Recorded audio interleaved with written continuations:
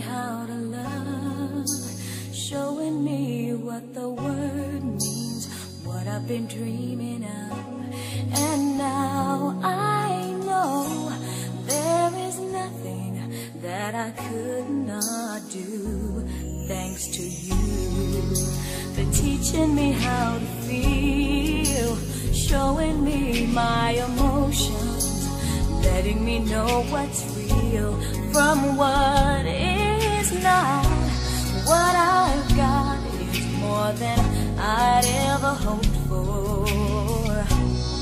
And a lot of what I've hoped for is thanks to